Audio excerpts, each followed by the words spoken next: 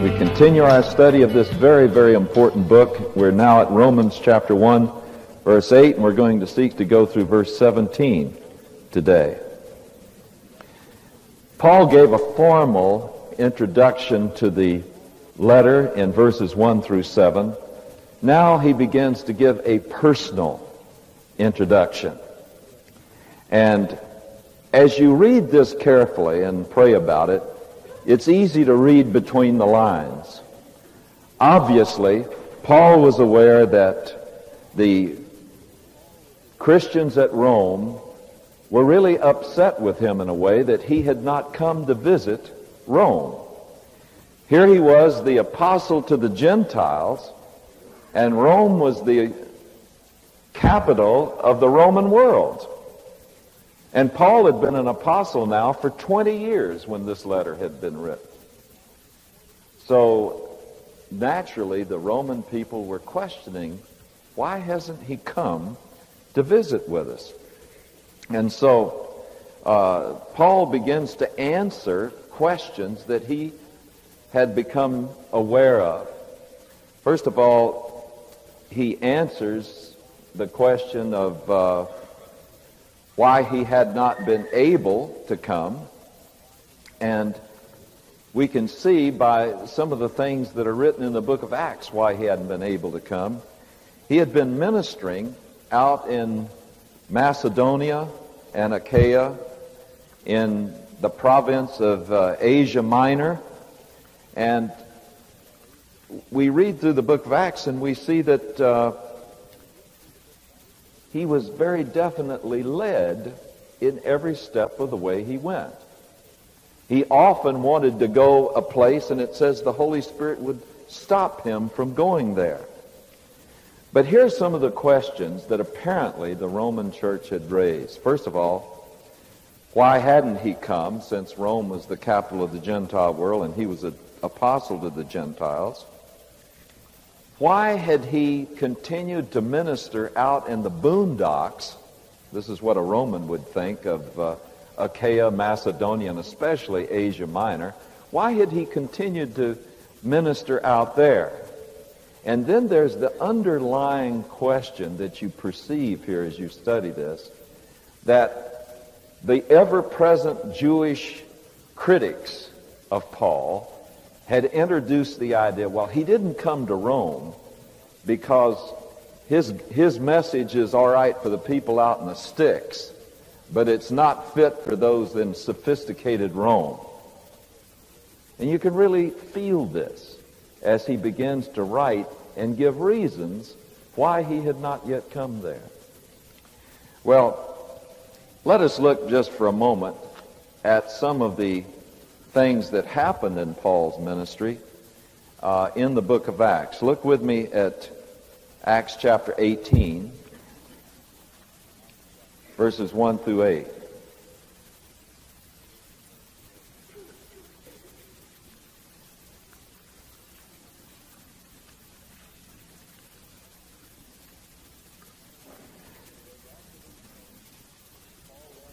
says, After these things, Paul left Athens and went to Corinth. And he found a certain Jew named Aquila and a native, a native of Pontus, recently come from Italy, and his wife Priscilla. Remember her from last week. Because Claudius had commanded all the Jews to leave Rome. And he came to them. And then it says he began to minister there and so forth. And he was met with uh, quite a bit of opposition. And yet he stayed there for 18 months ministering. Now, Corinth really was well on the way from the Middle East to Rome. He was near Rome. And I'm sure the Roman church was saying, why did he come so close and then not come see us? Well, it was while he was here in Corinth that he wrote this letter to the Roman church that was really thriving at that time. But I want you to look at verses 9 and 10.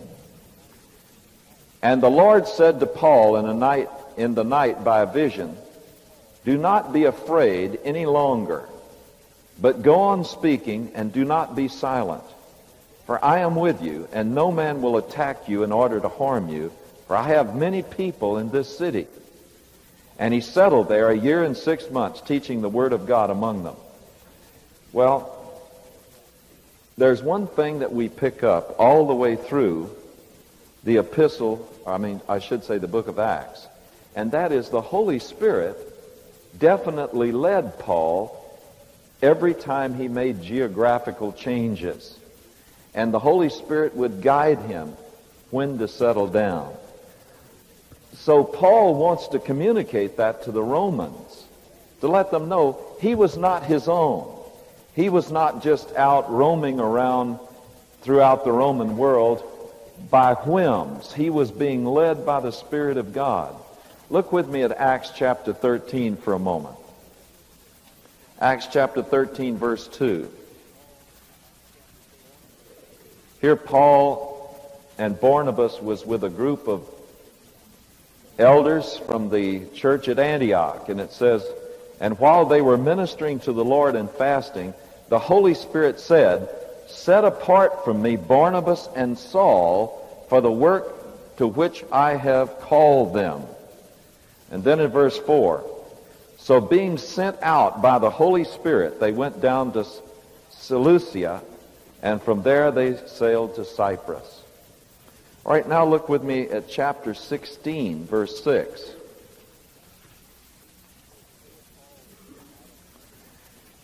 Here Paul is out on another missionary journey, and it says, And they passed through Phrygia and Galatian region, having been forbidden by the Holy Spirit to speak the word in Asia.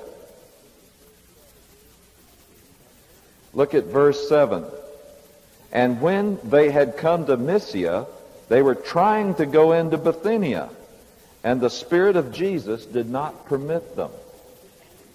Isn't that interesting? You know, if the Holy Spirit hadn't have stopped Paul, you know where he'd have wound up? In India and maybe China. But that was not God's will for Paul. And I can see why. Paul was the most gifted and talented of all of the apostles. And the Lord wanted Paul to spread the gospel throughout the Roman Empire, where there was really fertile ground for this good news about Jesus Christ. Had Paul gone to India with all of the blinding of the religions there, the gospel probably never would have spread the way it did. God sent another apostle there, and he was martyred there. Matthew. Matthew got all the way into China. Archaeologists have discovered ancient manuscripts in Chinese that are dated back to Matthew. And so there's evidence that he was there. In India today, there are still uh, churches dedicated to another apostle, Thomas. Thomas also was sent by God to India. And Thomas was the principal apostle to India. There are still churches there today that date back to the first century that are called the Church of Thomas. But God had in mind for Paul to spread the gospel to the Roman Empire. And so when he tried to go into Asia, the Holy Spirit wouldn't let him. You say, well, I wish that God would lead us that way today. He does. He does. There have been many times when I've had occasion to question, what in the world am I doing here in this church? You may laugh a little bit about that. But I've had plenty of occasion to say, Lord, am I in the right place? But you know, the Lord led in dramatic way for me to be here. You've heard parts of this, but I'll rehearse it again just to show you that God still leads very definitely. And he leads many of us if we just seek him. He'll lead us all. I was in Hawaii. I was determined to move to Hawaii. I made an offer on a house in Hawaii, and the guy laughed at me at first. He was a private detective over there private investigator. But I kept coming back, and the guy started liking me. So I gave him a final offer when I left, and I had to come back here to go to Israel. In the meantime, I had been working to uh, get into some sort of a thing here with the church. This was with Wayne Coombs at that time. We had agreed that if certain things would happen, the church would be started. I agreed to start it with him. And so I went off to Israel. When I came back, Wayne was there, and he said, all of these things have fallen into place. And so I said, okay, it's God's will that I stay here. So I shook hands on it, and the church was started. But 30 minutes later, when I got home, now I've been out of town for two weeks. When I got home, I got a call from Hawaii from the agent who was in touch with this private investigator, a Hawaiian. He said, man, this guy has been calling me relentlessly. He said, you, you won't believe what happened. He said, he's a Buddhist, but uh, he has had three visions. Three visions, and in these visions he was led to sell you the property not only at the terms you offered, but for better terms. Well, I already knew in my heart I wasn't supposed to be in Hawaii. And several things had fallen into place to start this church. And I'm really glad that I had a very clear leading to do this because in the flesh, I'd a lot rather be in that house up on the Koko Head, watching out over the sunset every day, beautiful sunset, wandering around the beaches, spearfishing, scuba diving. And I could have done it. All I had to do was write a book every once in a while. But you know something? That wasn't God's will for me. God often stops us from doing what we, in, in the human side of us, want to do in order to direct us to something else.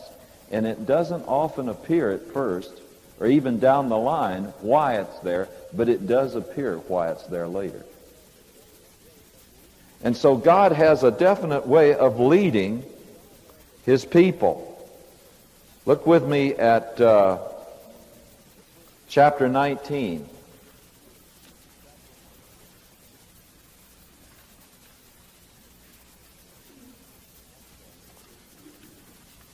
Or I'm sorry, look with me at chapter 16 verse 9 and through 11.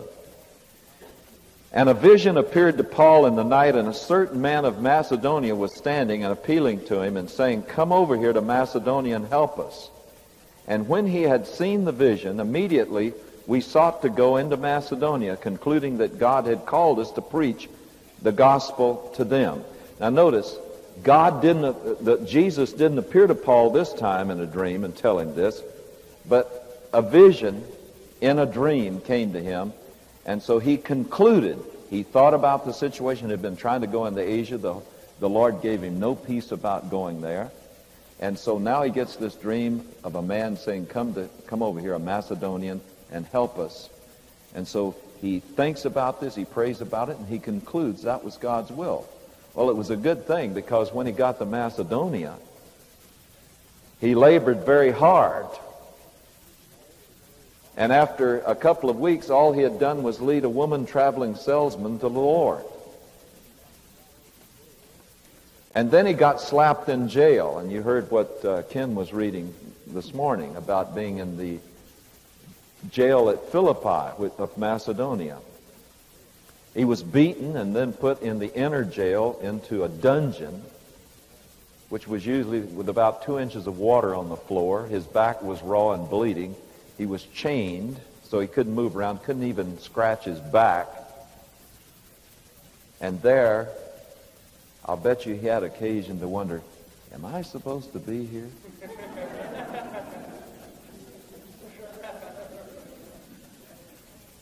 But he knew he was, and so he sang praises to the Lord. And the Lord shook the whole city in order to open the jail. Lord brought an earthquake on the whole city in order to open that jail up. And then the Roman jailer became the second charter member of the Philippian church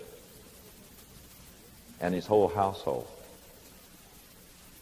And he had another convert, a demon-possessed fortune teller. So he really had a, you know, the Philippian church was founded on some stellar folks. But he knew he was supposed to be there, and that is what happened. So when Paul talks about being hindered from coming to Rome here in a moment, it's against that background. So let's read on. Paul says, First, I thank my God through Jesus Christ for you all, because your faith is being proclaimed throughout the whole world. So Paul first lets them know, look, far from not caring about you, far from not wanting to see you, I thank God for you. Your faith is being proclaimed throughout the whole world. And he says, I am grateful for you.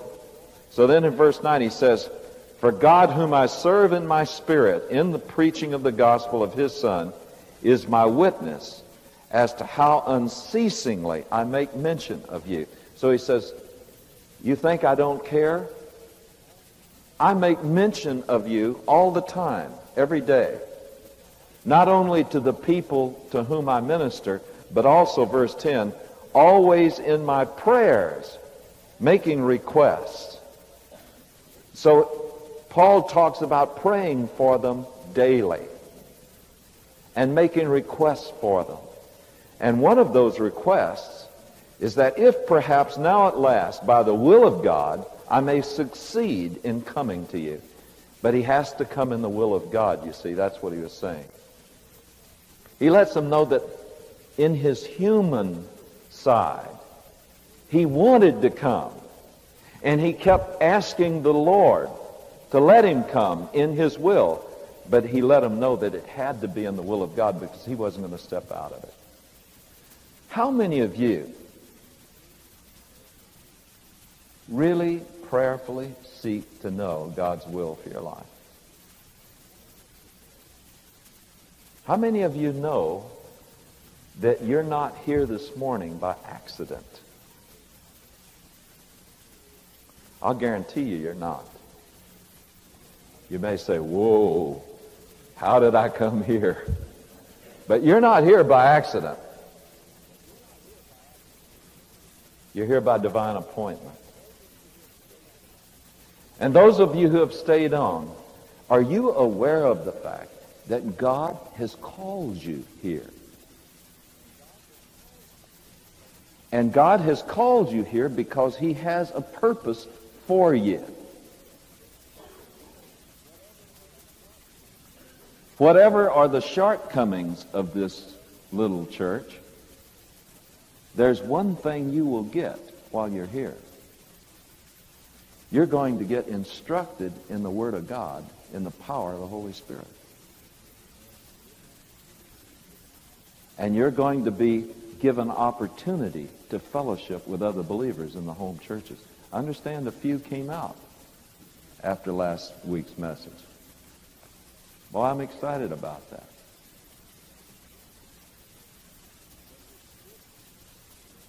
But it's good to know that you're here by divine appointment. And if you're here in the will of God, you know what God wants you to do? As we're going to see in a moment, he wants you to become equipped. Because going to church, among other things, the most important is that you become equipped to be a soldier for Jesus Christ. We're not to sit, soak, and sour. We're not to sing standing on the promises while sitting on the premises.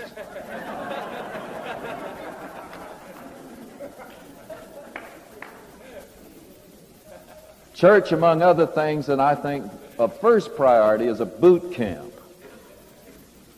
where you're learning. And for many of you, I'll, just, I'll be disappointed if in two years you're still here. You know why?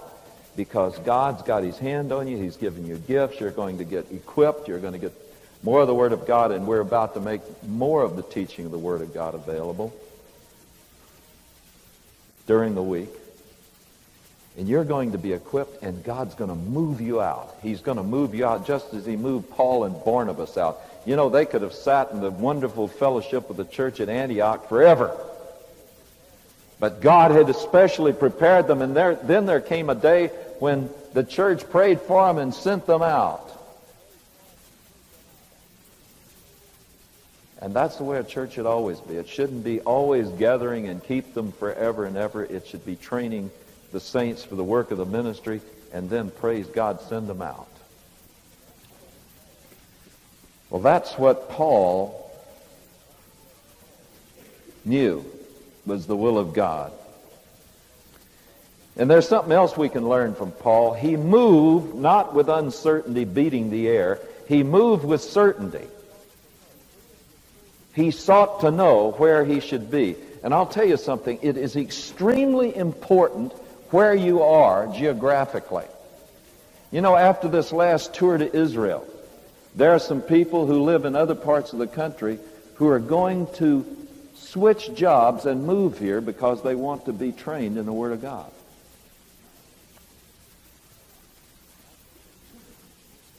I think of many geographical moves, and I've made many in my lifetime. But I've been a Christian 31 years. And I can remember every time I made a geographical change, it was of great importance. Because part, one of the most important parts of the will of God for you is where you are, where you're living. And so don't ever take lightly a move because it has great influence on your life. I remember when I was just out of Dallas Theological Seminary, and I had built a work for Campus Crusade for Christ in Dallas, Texas. And I went for special training in the summer up at Mound, Minnesota. And at the end of that, I was coming from uh, part-time staff to full-time staff. I'll never forget when I was told that I was going to be transferred to UCLA. I wept. I didn't want to go to Los Angeles. With all of those nuts and fruits and kooks out there. I was a Texan and I wanted to stay in Texas. And so I came out here reluctantly, with fear and trembling. But there was one thing I knew before I came here. I prayed about it, and God said, go. So I came. You know, that changed the whole direction of my life. The whole direction of my life. I'm sure I would never have written a book if I hadn't have come here. There are many other things that never would have happened. I remember praying when the time came for me to leave Campus Crusade for Christ over a doctrinal issue. I just bought a home in San Bernardino and was there to be on staff at the headquarters at Arrowhead Springs. And it's awfully difficult to quit a job right after you've just bought a home. But God led me to quit, and I did. And that launched me on one of the most important spheres of the next step in God's ministry for me. Because God then led me to start a school called the Jesus Christ, the JC Light and Power Company, as we call it, next to UCLA. And because I was basically out of a job, I had time to write a book, and that's when God led me to write The Late Great Planet Earth. During that time, I was interim pastor for nine months for the Rolling Hills Covenant Church. It was 1969. And so, because I was out of a job, basically, that's why I had time to write The Late Great Planet Earth. And kicking and screaming, I wrote it. But God led. What I'm trying to show is that if you're looking for the will of God, he will show you. He will give it to you. And it's very exciting to walk in the will of God. Sometimes it's terrifying, but it's always exciting.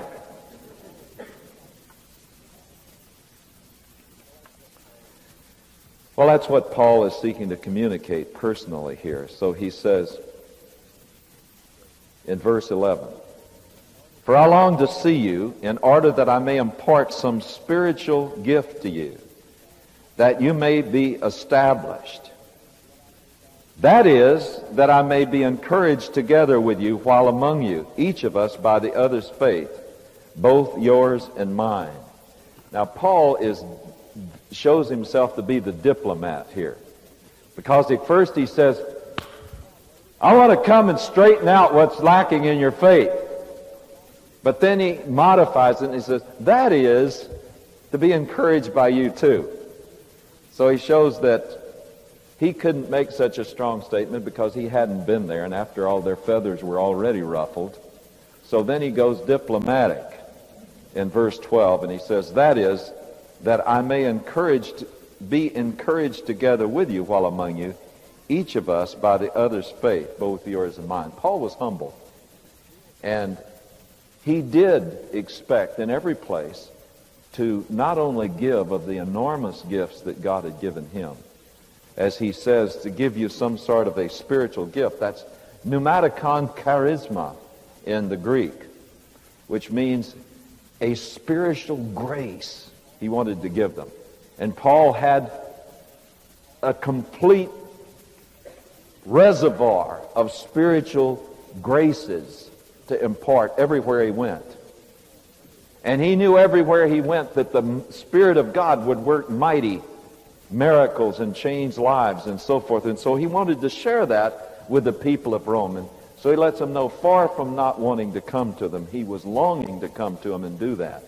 But also, he says, that is, that I also may be encouraged by you as well. Let me tell you something.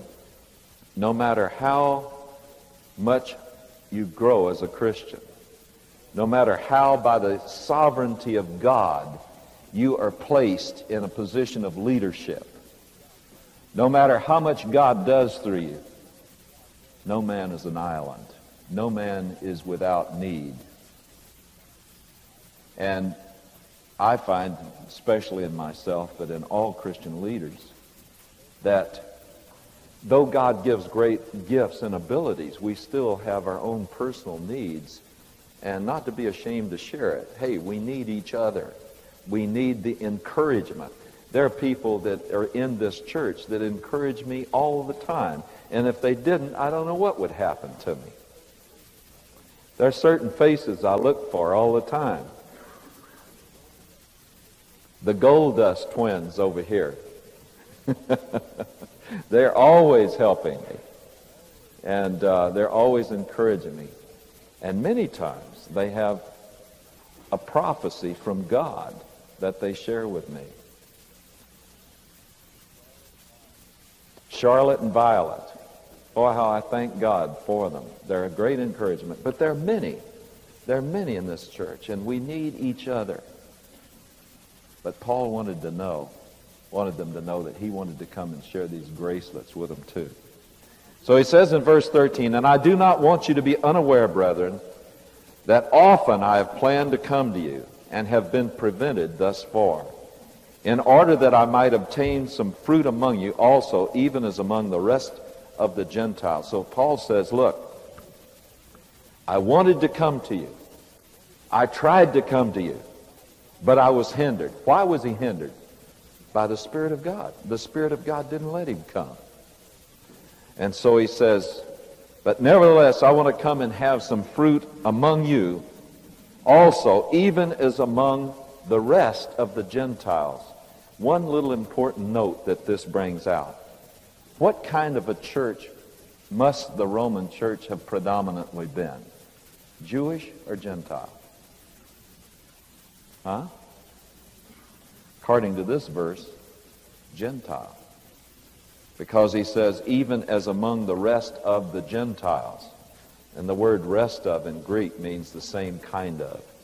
So here it shows that the, the Roman church, which was started by average believers who had, who had probably come to know the Lord at the house of Colonel Cornelius in Caesarea, had started this church and it was flourishing among the Gentiles.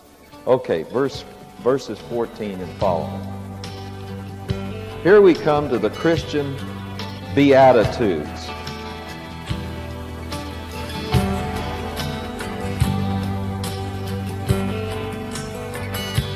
Here we come to the Christian Beatitudes.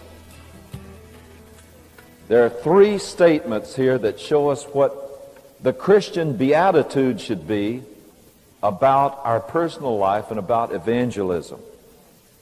I want you to mark them. In verse 14, I am under obligation.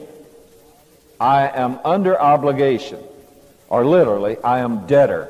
That's what the Greek says. I am debtor. Verse 15, Thus, for my part, I am eager. I am debtor, I am eager. Verse 16 For I am not ashamed. I am not ashamed. So there you have the three great beatitudes of the Christian. I am debtor, I am eager, and I'm not ashamed. All right, now let's see what that means. I would to God that all of us had this attitude. First of all, he says, I am debtor, both to Greeks and to barbarians, both to the wise and to the foolish.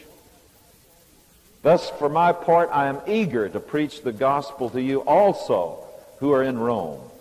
For I am not ashamed of the gospel of Jesus, uh, of the gospel, for it is the power of God for salvation to everyone who believes, to the Jew first, and also to the Greek. Now, in these three statements, Paul is answering the critics, the ones that the ever-present enemies that he had who were always trying to tear him down. But in these three I ams, he answers them. First of all, he says, I am debtor. I am debtor to the Greek to the barbarian, to the wise, to the foolish. Now, what does he mean here? Paul sees that he has a personal debt to the whole human race. A debt that will only be fully paid when he leaves this life. A debt to share with the, with the barbarian are with the cultured, with the sophisticated, and with the uneducated, with the up and outer and the down and outer. The gospel. He saw himself as having this debt. Hold your place here and turn with me to 2 Corinthians chapter 5.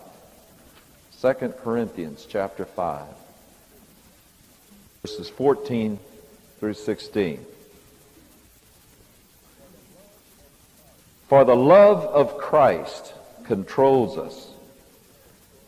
Now, this is another one of those genitive relationships that's unclear. The love of Christ. Literally, this is the way the Greek should be understood here in the English. The love which Christ has for us. The love which Christ has for you. And this is what he says about that. The love that Christ has for us controls us. Having concluded this, that one died for all, therefore all, literally, were dead. Not have died. Literally, it should be all were dead. The Greek brings that out clearly. So what he is saying is that the love that Christ has for us should control us and make us recognize that since Jesus Christ died for all, we were all dead spiritually. All separated from God, all incapable of knowing God, all incapable of finding our way to God. And the love that Christ has for us is that while we were separated and dead spiritually, unable to know God personally, that he died for all of us. And so he goes on, he says, and he died for all for the purpose that they who live should no longer live for themselves, but for him who died and rose again on their behalf. Do you see how this ties in with the fact that Paul saw himself as a debtor? Jesus died for all for the purpose that we who live should no longer live for self. In other words, once we recognize the greatness of God's love for us through Jesus Christ, and we have been made alive spiritually, we have been given eternal life. We've been given a forgiveness that forgives us past, present, and future sins. We have been made children of eternity now. We have been put into God's eternal family and can never be thrown out. Now he says, once we recognize that, it should teach us that we should no longer live for self, but for him who died and rose again on our behalf. Therefore, from now on, we recognize no man according to the flesh. Now, what in the world does that mean? Therefore, on the basis of what he had just said, he says, we recognize no man according to the flesh. In other words, we shouldn't look at people according to how well they're dressed or how poorly they're dressed. We shouldn't look at a man's worth by how highly educated and clever he is. We shouldn't evaluate a person's worth to God by whether he is sophisticated and cultured. But we should see him as Christ saw him. He died for all because all were dead. And so now we who have been made alive are debtors. We're debtors until the day God takes us home. We're debtors to tell others about the good news of Jesus Christ. Now, back again. In Romans 1.15 it says, Thus, for my part, I am eager to preach the gospel to you also who are in Rome. Now, he's beginning to tweak the nose of those who were his critics. His critics have said, yeah, he's been 20 years out there in the boondocks, but he's ashamed to come here and speak the gospel here. He's, he's not really sure about his good news here. So Paul says, hey, man, I'm not only, I'm not only a debtor to come there, but I am eager to come to Rome also. I'm eager. And that should be our attitude. We should be eager to share the good news about Jesus Christ to whoever. Eager because it can change them from death to life. Eager because of the kindness and goodness of God that out of this blind world, he for reasons known only to himself, brought us out of that. Though we didn't deserve it, though we'll never deserve it, he has given us light that Jesus was the only one who could bridge the great chasm between him and us. That God is so righteous that no matter how sincerely we try, we can never be good enough to earn his acceptance. And so Jesus had to come and take the rap for every time we fall short of God's standard and die under the penalty of it so that by faith we could receive that and come back to God. We should be eager to share that. 1 Peter 3.15 says it another way. It says, But sanctify Christ as Lord in your hearts always being ready to make a defense to everyone who asks you to give an account for the hope that is in you, yet with gentleness and reverence. Set apart the Messiah as Lord in your hearts, what this uh, is saying. and purpose. It says, always be ready to make a defense. To how many? To everyone who asked you to give an account for the hope that is in you. But do it with gentleness and with reverence, not with haughtiness, as if you've got the secret and you're now going to illuminate the barbarians. But remember, that's where you came from, too. Eager. Be ready to give an account.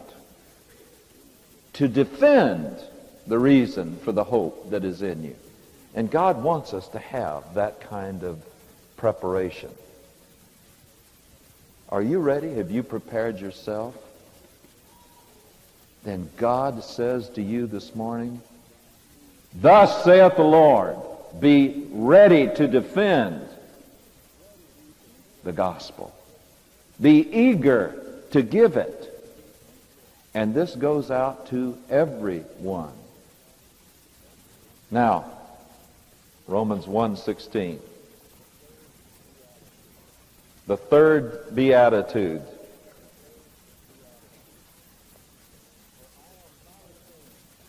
For I am not ashamed of the gospel. So Paul hurls this into the teeth of those who had criticized him. He said, You think I'm ashamed to come and preach the gospel in Rome? I'm not ashamed. And here's why. It's the power of God to save all of those who will believe it. For I am not ashamed of the gospel, for it is the power of God for salvation to everyone who believes, to the Jew first and also to the Greek. So here he shows that he is not at all ashamed to come to Rome, that sophisticated capital of the whole known world of that time. He was eager to come. He was ready to come. And he was he felt himself under obligation. He was debtor. So why was he out in the boondocks preaching? Because he was debtor to the barbarian as well as to the sophisticates of Rome. But he isn't he isn't going to hold out on Rome either. He's going to come there and preach because he's not ashamed. Have you ever been at a party where, you know, you're sitting there with a bunch of people who do not know the Lord, and all of a sudden the subject of religion comes up, and a perfect opportunity comes up to say something and about giving the gospel, but you look around and you're really too embarrassed to say anything. Ever been there? Why are you ashamed of the gospel? I've been there. I've been in that place many times. But you know, about 18 years ago, I settled that with God. I used to have the hardest time being in Campus Crusade for Christ, where you were always going out and meeting new people on the spot and giving strangers face to face the gospel. And I finally got to the point where I said, I've had it. I don't want to feel like this anymore. So I went to the Word and I started praying and studying about it. And finally, and I came to this. I am not ashamed. And I just said, Lord, I refuse to ever be ashamed to give the gospel again. And you know, from that time on, I haven't been. I've given the gospel in some of the scariest places that you could possibly dream up. I've given the gospel when everybody else in the room was squirming. But I give it fearlessly now because I depend upon the Holy Spirit and because I'm not ashamed of it. And the reason I'm not ashamed of it is because in that simple message, I don't care what people say against it. I don't care if people ridicule me and say, you're stupid, you believe a stupid message like that. I don't care. I know that in that simple message is contained the power of God to bring anyone who's open to salvation and to eternal life.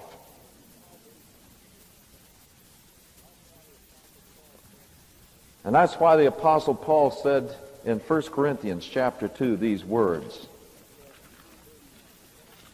He said in verse 1, And when I came to you, brethren, I did not come with superiority of speech or of literally philosophy, proclaiming to you the testimony of God. For I determined to know nothing among you except Jesus Christ and him crucified. And I was with you in weakness and in fear and much trembling. And my message and my preaching were not in persuasive words of philosophy, literally, but in the demonstration of the Spirit and of power, in order that your faith should not rest on the wisdom of men, but on the power of God. You know, I have many times done this.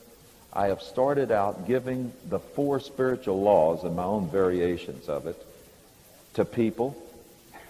And I've had them say to me, I remember one very specific case, two guys I was talking to up in Berkeley, University of California, Berkeley. I started out by talking to them, and I said, you know, I want to share something with you, and it'll explain why I believe the way I do. We'd already been talking. And I said, first of all, God loves you, and he has a wonderful plan for your life. And they started laughing and said, hey, we don't believe in God. What do you mean God loves us? I said, that's fine. We'll note that. You don't believe in God. But humor me, and I'll show you why I do. And I just kept going through those four basic points of the gospel. Thirty minutes later, both guys said, and I said, would you like to pray and receive Christ? They both bowed their head and accepted Christ. You know, God doesn't bless our arguments. Now, there's a place for answering certain questions. But most people never actually lead anybody to Christ, though they witness a lot, because they never get the gospel out. They get off on what about the heathen in Africa?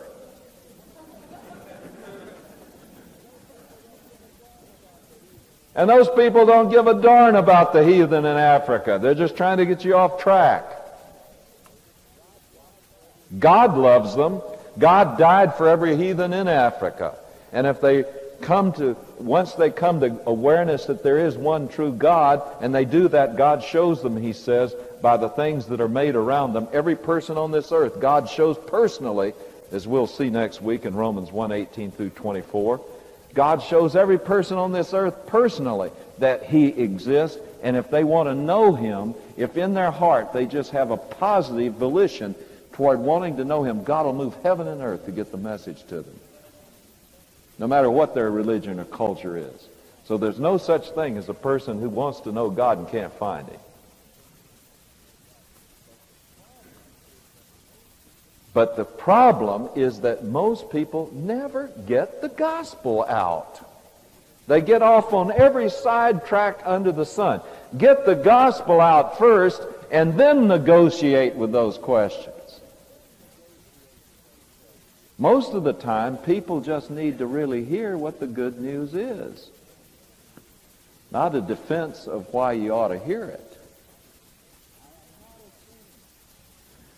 I am not ashamed of the gospel, for it is the power of God. In that simple message is contained the power of the God of the universe. Do you believe that? then don't be ashamed of it.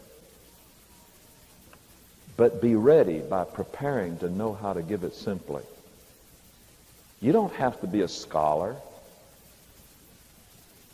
to learn how to give the gospel. And you don't have to know the answer to every question to witness to the most brilliant person and lead them to Christ. It's a question of whether you're depending on the Holy Spirit and you're giving that message in the power of the Holy Spirit because it is the power of God. Now it says, to the Jew first and also to the Greek. You know, God keeps his priorities straight. The Jew bore a lot of suffering in order to make it possible for this book to be written, kept in its purity, and passed on to us. God, this is one of the great reasons that God chose Abraham and created the nation of Israel out of him was so he could have a special nation he had set apart under special regulations so that he could reduce to writing his revelation to man. And God never forgets that he chose them in order to be a special nation so that through that nation he could reach the rest of the nations. And so God always puts a priority on those that he used in such a great way. So he says to the Jew first. And God will always bless the one who has a heart to reach the children of Abraham, Isaac, and Jacob. It's one of the reasons I love to go to Israel. I love to take people over there. I'm going October the 10th through the 23rd again because I want to bless those people. I want to bless them and I want to help them. I owe them a debt. I'm debtor to them. They don't even know why they're debtor, why I'm a debtor to them, but I know. I got the Word of God. And so it says in verse 17, why is the gospel the power of God? For in it, the righteousness of God is revealed. Notice the is in italics. It's because there's no definite article before it in the original Greek. For in it, a righteousness of God is revealed. And this is emphasizing the quality of the righteousness. That there is a righteousness available from God to all those who believe the gospel. And here we're getting to the main theme of the whole book of Romans. The book of Romans focuses on the righteousness of God. It focuses on how righteous God really is. And then it shows that by faith, we can receive a righteousness from God which is equal to his own righteousness. And that that's the only way that we can become acceptable to him. Hold your place here and turn with me to Romans 10 for a moment.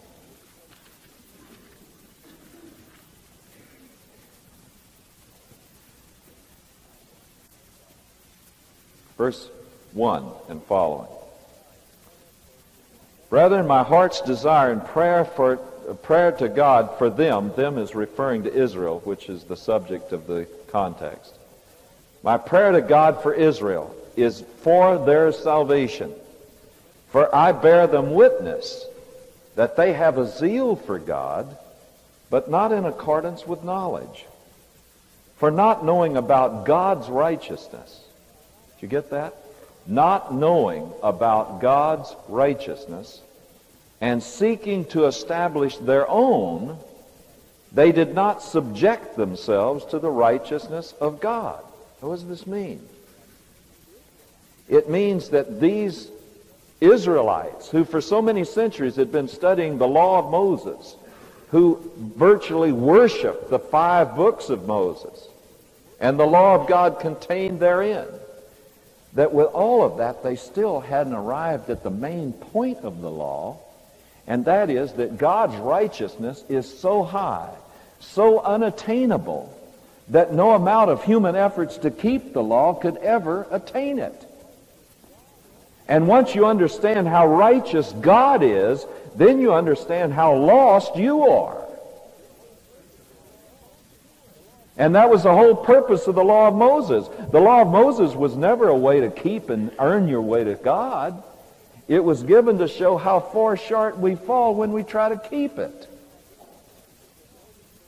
We say, what can I do to, etern- uh, to earn eternal life? Well, there are all kinds of religions out there, and all of them have got good moral systems. But I'll tell you, not one of them will save you because all they do is offer a moral way of life. But God says, you got to be as righteous as I am if you're going to enter into a relationship with me. That's why he had to send Jesus.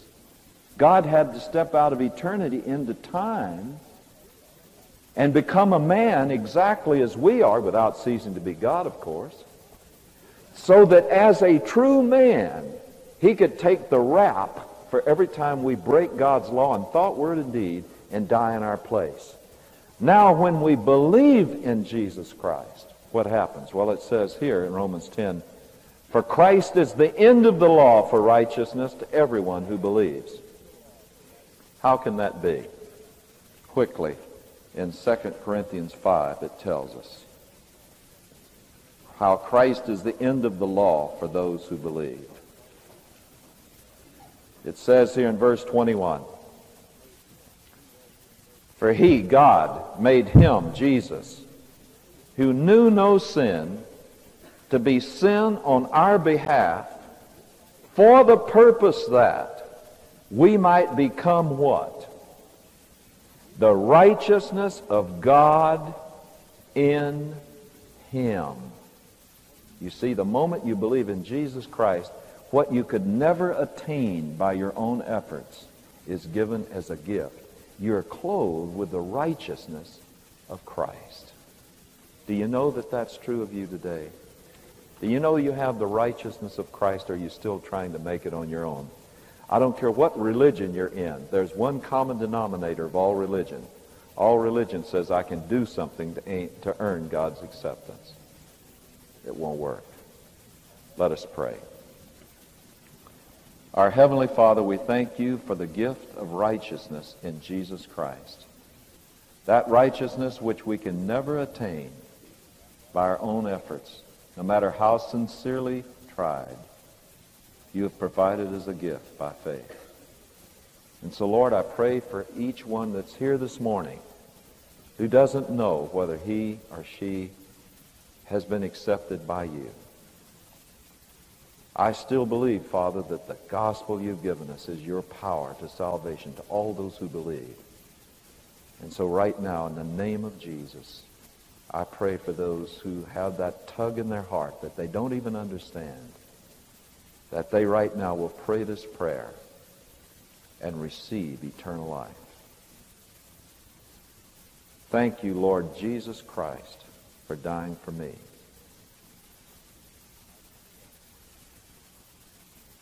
I confess I can't be good enough for you to accept. So right now, I receive your pardon.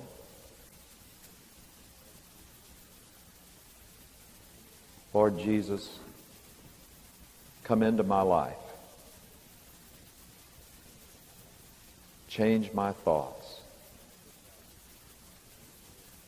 Make my desires your desires.